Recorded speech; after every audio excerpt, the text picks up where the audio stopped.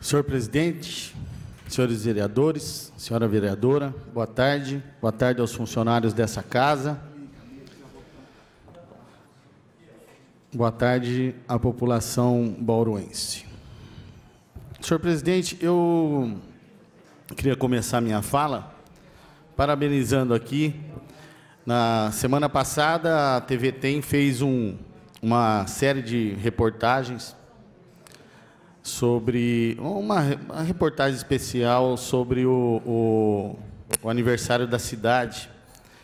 Foi cinco dias e realmente naquela série de reportagens dá para a gente ver a importância que é a nossa cidade é, na questão regional falou sobre saúde, falou sobre lazer, falou sobre educação, falou sobre o, o aeroporto, falou sobre o nosso astronauta, enfim.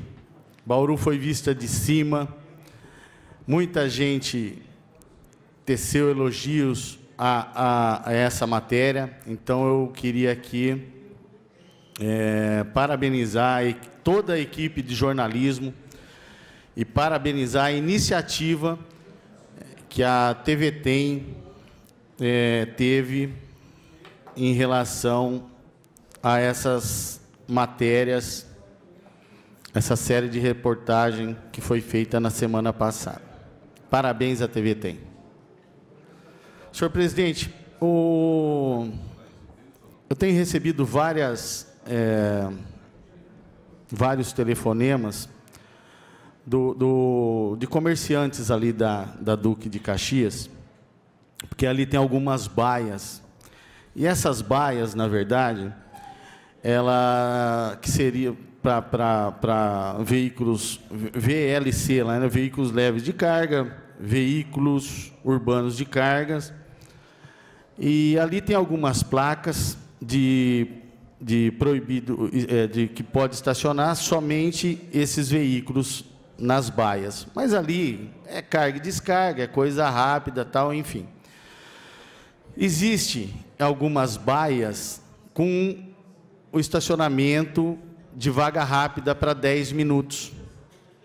Queria solicitar aí, em Durbe é, um possível estudo para colocar em todas essas baias as vagas, é, é, o estacionamento nas baias de, vagas, de vaga rápida para 10 minutos. Não mexendo na, na, na, na de carga e descarga. Mas, assim, é, colocar essas de 10 minutos. O que está acontecendo ali? Ali, às vezes, é, o comércio, ali, na, ali é uma, uma avenida totalmente comercial. E o que está acontecendo? O pessoal para ali para trabalhar, e deixa o carro lá basicamente o dia todo, tira para almoçar, enfim.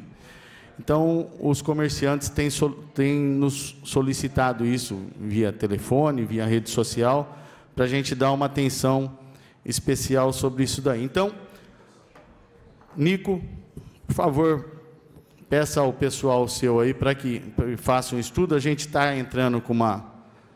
Está requerendo isso daí também. E por favor, dá uma atenção para esse pessoal aí que tem gente lá parando o dia todo, sendo que na verdade tem várias lojas e pode ser usado ali o estacionamento rotativo a cada 10 minutos ali, pessoal é, desembarcar, fazer uma compra rápida, alguma coisa desse tipo. Outra coisa, senhor presidente, é que além da iluminação, além do radar é, aquele trecho que liga novamente, tá? Eu, eu sou meio insistente no negócio, porque ainda não acabou não dando certo ainda, mas já está em processo de, de andamento. Está andando. Pelo menos está andando. É, o calçamento de todo o acesso da do acesso do Jardim Flórida ao Bauru 2000.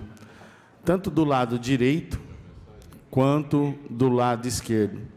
Então a gente vai requerer isso daí também para saber como realmente procede, para que seja feito o calçamento, porque ali, como não tem iluminação, na hora que você sai do Flórida para subir para o Bauru 2000, muita criança com mãe, como não tem acesso às calçadas, o que está acontecendo? O pessoal fica na rua, onde que eles consideram ali a, é, é, é, o espaço de bicicleta ali. E